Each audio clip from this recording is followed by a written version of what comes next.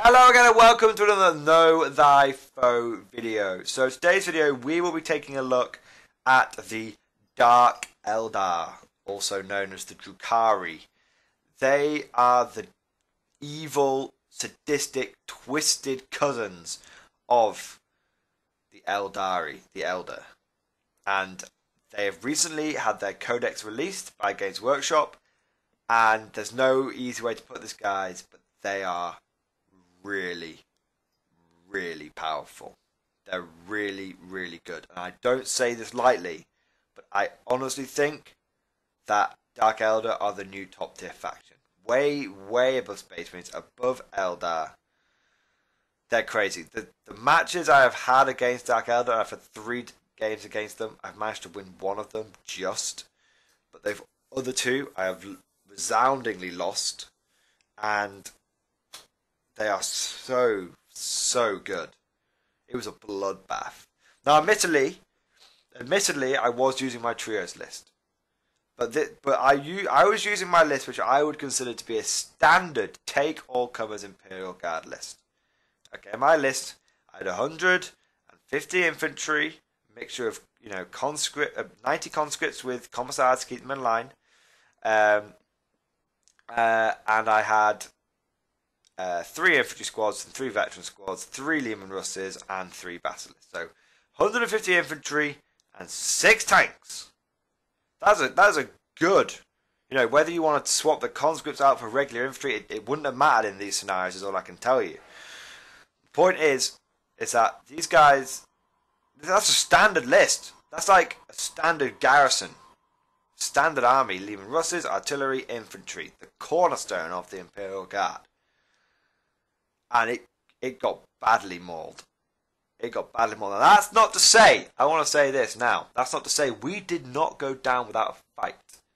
One of my 30 man conscript units charged across the battlefield, eventually, inevitably got unsupported by their commissar. That didn't stop them, and they bayoneted, they shot and bayoneted down a raider, 15 Kabalites, and a Sybarite before they were finally killed by three disintegrator ravagers, so nine ravager shot, nine ravager, nine disintegrators, twenty-seven disintegrators. Just, just, just butchered them. And that's what my opponent had to turn on them. You know, my opponent went in there with some serious firepower, and he did some serious damage. This is in the second game. But I was able to fight hard, and it was a it was a gallant loss. I will admit it was a gallant loss. The second game, the first game was pretty pretty good. I was able to win the first game, but like I said, I went first. And by going first, I was able to do significant damage to the Dark Eldar Ravagers and their infantry. So my first game was a win, but I went first. I was able to bombard them. Second game was a loss and a close loss, and the third game was a massacre. I was on the receiving end of a massacre.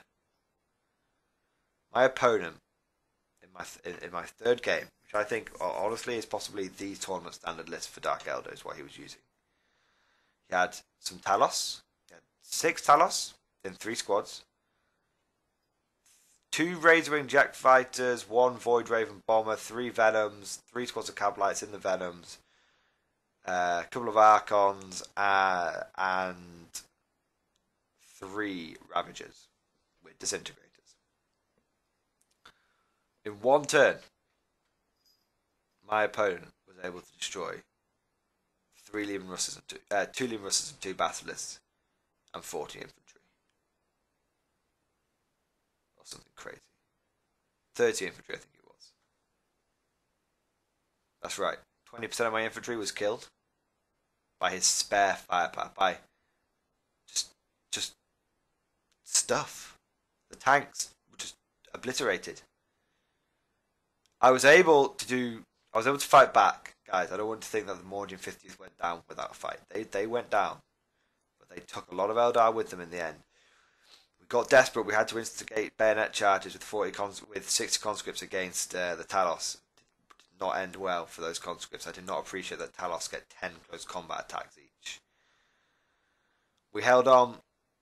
It was a Maelstrom game. To be honest, I only lost. I was able to score uh, five Maelstrom points. My opponent was on something like uh, seven or eight, so it wasn't massively ahead.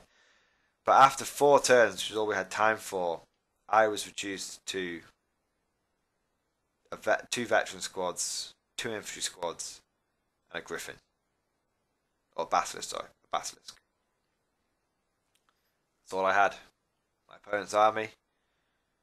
He had Ravagers fully intact, his Talos pretty much fully intact, and one of his planes had managed to kill his Venoms, his Kabalites, a few wounds on the on the Ravagers, and kill his Void Raven bomber and one of his uh, Razor Wings. And in, you know, I, I killed about half his army. In return, he killed about eighty percent of mine. Just insane, insane. But what makes the Drukhari so powerful? There's two things that have made them go from okay in the index to absolutely bunker bustingly insanely powerful. One, cheap.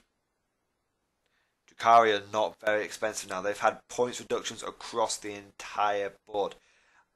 My, like I said, my opponent was able to bring three Ravagers, three Planes, three uh, Venoms, six Talos, and a whole load of other stuff. Three or four characters. You know, he had loads. Uh, my opponent before that had something like six Raiders, three Ravagers, and some Scourges. My opponent before that, again, had just like almost a hundred Kabalite warriors. Like, Dark Eldar are not expensive anymore. So, because of that, this factors into the second point is they can bring an unholy amount of firepower. And all their firepower, guys, they don't have any special weapons, basically, that aren't AP minus 3 or AP minus 4. They're, they're literally. You, the, the two weapons you are going to see used non stop by Dark Eldar are blasters and disintegrators. Blasters, like a 24 inch range las cannon. Well, it's like a 24 inch range melter gun, actually. Because it's strength 8, AP minus 4, d6 damage. That's insane. It's not expensive, so it's like, I don't know how much, I think it's like 10, 13 points. It's not expensive. Disintegrators, 3 shots, strength 5, AP minus 3. AP minus 3 is huge, guys. 2 damage! Insane. Now, Dark Lancers aren't even that good. Dark Lancers aren't even that good. It's all about the disintegrators and the blasters, guys. The poison shots they have, they wound. They always your infantry on fours, which you might think, well, that's not too bad. I'm used to getting wounded on threes with most things. Yeah, yeah, that's true. Except for you're not used to a single one of their vehicles pumping out something like 30, 40 shots because they've got guys inside with splinter rifles and splinter cannons and splinter racks, and the vehicle itself has got a fucking splint two splinter cannons, and it's just it's insane. This is insanity. What what they can get. A couple of venoms and a, a, a couple of raiders, sorry, loaded up with some Kabalite warriors or some Trueborn with shredders, just insane. And speaking of shredders, my god, 12 inch pseudo flamers, guys, 12 inch range, d6 shots, strength 6, AP minus one. Rerolling wounds. Insane. They they they just clear you out. Oh, they are tough guys. They are tough. Now there is one weakness. Oh, and they're fast. I should say. You might be thinking that a lot of their special weapons are only 24 inch range, 36 inch range. That doesn't matter. That does not matter in the slightest. They are going 14, 16, 18 inches standard across their entire army. Now they have one weakness, and it is a singular weakness. No, it's not the psychic phase. Uh, some people will say Dark Eldar don't get any psychics, so you can beat them on psychic. Well, no, because the psychic phase, you know, you can't smite spam anymore. Okay, and as Imperial Guard, we don't dominate the psychic phase anyway. We hold our own in the psychic phase. But our psychics, like, aren't super great. They're okay. They're, they're decent, but they're just humans. No, the one weakness of the Dark Eldar is they are not very durable. Even with two of my Basilisks and two of my Leman Russes being taken out, I was able in one turn to smash aside three of their Venoms and do some significant damage to one of their planes. That was with the majority of my heavy weapons removed. We've got to remember, guys, is Raiders, Venoms, they're only toughness 5. So lasguns wound them on 5s. It's a big deal. They aren't very durable. They aren't very tough. Okay, they aren't very tough. So you, if you you can stack wounds on them. The one problem is that most, I think, every single one of their vehicles gets a night shield, which gives them a five plus invulnerable save. So even though these things are only rocking toughness 4 with a 4 plus save, it doesn't matter. There's no real point in hitting them with a las cannon. An auto cannon will do just as good. Now, Dark Eldar are really, really powerful, and I've talked about how powerful they are. I've started to talk about the weakness. How can we beat these things? Well, like I said, guys, it's looking like Dark Eldar are going to be the new top tier faction, at least for a while. Okay, then maybe they'll get nerfed soon, but at least for a while, it's looking like the top tier faction. Okay, I've seen tournament. I, have seen for the, for example, like uh, which I think it's the London Grand Tournament that's coming up soon. Um, I I know a guy who's involved in that, and he said something like a third of the lists or more that have been submitted to him, maybe even like almost half, like two fifths, are Dark Eldar. Something crazy, something absolutely crazy, and maybe I'm getting mixed up with guys, so don't don't quote me on that. But honestly, Dark. There's a lot of Dark Eldar being thrown out there now. A lot of Dark Eldar. So that is somewhat good because it means you kind of know when you're going to tournament that you're going to be facing at least a couple of Dark Eldar players. And so because of that, we can we can take some tools to deal with them. The number one thing that we need to deal with these filthy, evil Xenos is basically